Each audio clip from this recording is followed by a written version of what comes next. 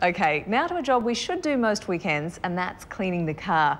I know some of you might be like me and just wait for the rain to do it, but it could be time to change our ways. Joe May's been talking to a man who knows all the tricks, and he needs them. His livelihood depends on getting it right. Wax on, right hand. Wax off, left hand. Household detergents, absolutely evil for using on your paint. They destroy your paint. They make they lose the shine. They make it go white. Dan Bowden is the guru of gleam. Another Porsche 911 RS, salt and pepper of the two, the black and the white. The beautiful yellow one here was actually owned brand new by Ferdinand Porsche, Mr. Porsche himself. Gee, Dan, they don't make these like they used to. Far out. No dirty hands on the cars, please. It certainly pays to be fussy with a $20 million collection.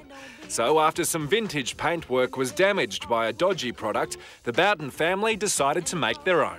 And this is our test bed. Um, and until we're actually happy um, with the, you know, the product that, that's in the bottle, um, we don't actually sell it. So, who better to ask for some advice?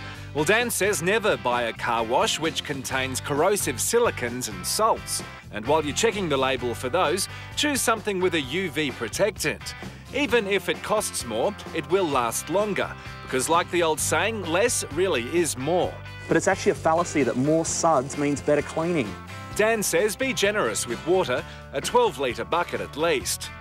That bottom couple of litres of water should never go onto the car. All the dirt and junk you've pulled off that can scratch your paint is caught in there. Dan's number one family secret is the double bucket technique.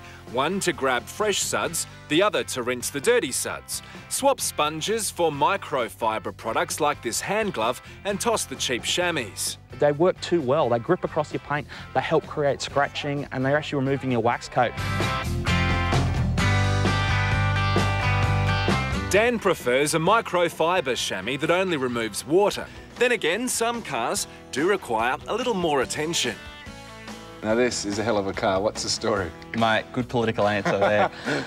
Channel 9 Camaro, um, Kerry Packer um, budgeted out uh, Kevin Bartlett to race this car for four seasons. Incredibly successful car and one of our most famous.